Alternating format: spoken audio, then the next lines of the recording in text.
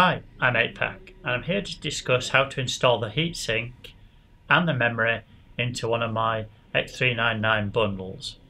So in front of us here on the on the table we've got uh, the ASRock motherboard, the ASRock X399 Tai-Chi, CPU installed firmly in the socket. We've got the Asetek uh, 240 cooler here uh, and the mounting bracket which comes with every AMD Threadripper CPU here and obviously our sticks of uh, Dark Pro memory there got a screwdriver which is not absolutely essential, thermal grizzly thermal paste, uh, and the PCB cleaner, uh, which is actually for for where, from where we start to be honest. So here on the bottom of the Asetek cooler we've got this uh, this small amount of paste which obviously is not going to be enough anywhere near to cover this die. I mean the whole cooling head of the Asetek cooler only covers about 60 to 70% of the of the uh, IHS over the dies here, but it's covering most of the actual dies themselves underneath the IHS to make sure of good cooling, but there's nowhere near enough paste here. Uh, and obviously it's of lower quality than our Thermal Grizzly, which is the market leading paste at the moment with the Kryonaut there. So let's first clean this this paste off that comes with the cooler. I'm just going to do that with a, a lint rag here. So just give it a little bit of a bit of a rub. It does come off in a few little bits if you want to just make sure they don't go into the memory slots or anything on the motherboard while you're cleaning it. And I've got the PCB cleaner, you don't have to do this, but just a quick spray to make sure it's absolutely clean and ready to go. Okay, so there we go, nice shiny finish. So once we've done that, we're going to apply thermal grizzly paste uh, to the to the IHS on the CPU.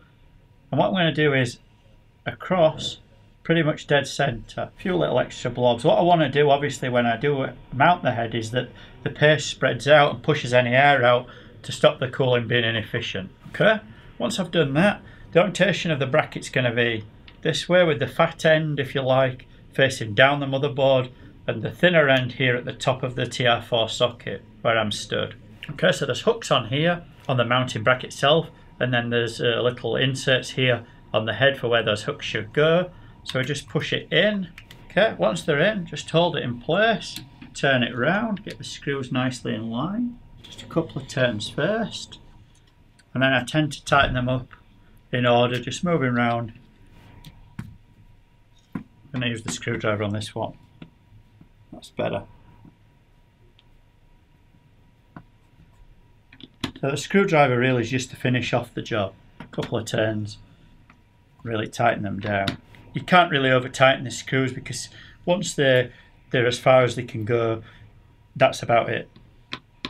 Okay, so they're all nice and tightened up. Like I say, you can't over tighten with this, but once they are touching the standoffs perfectly, that means that the correct amount of pressure is on the AIO here and causing that contact pressure on the IHS. Here we've got the AIO uh, header or cooler uh, power for the pump. Uh, on the ASUS board, the pump header goes here, just by the top PCI Express slot. On this uh, ASRock board, it goes up here by this uh, 4-pin connector. So we'll plug that in there. Obviously, you want to place the, the AIO cooler either at the front of the case here with the fans blowing through the radiator here, uh, and then obviously hopefully have fan here to exhaust or indeed some fans in the roof to exhaust the hot air out or otherwise you can place it in the roof of the case again with the fans blowing through the radiator. Uh, ideally the static pressure fans that we provide with the bundle would be great, just pushing through, making sure that the the uh, hot air is then exhausted out of the case and all the heat taken away. Okay, so that's your options for, for the placing of the radiator. Finally, let's look at installing the memory. First, for the 32 gig install, we install a stick in the uh, closest to the 24 pin. Then we miss a slot and install a stick. And on the other side, again, closest to the IO, so here, and then we miss a stick and same again. And this, in, this means that the four channels are all filled with one DIMM and four channel operation is working perfectly. If we want to go obviously to 64 gig of 8 gig sticks. We'll just install the sticks in the channels not covered by our first install. Okay, so that's basically how to install the cooler and the memory on it, either of my X399 bundles. If you want to buy the bundles, obviously go to uh, the Overclockers website. For further information on anything to do with the support of the bundles, go to our forums. And that's all from me for today. I'm 8 Pack. Goodbye.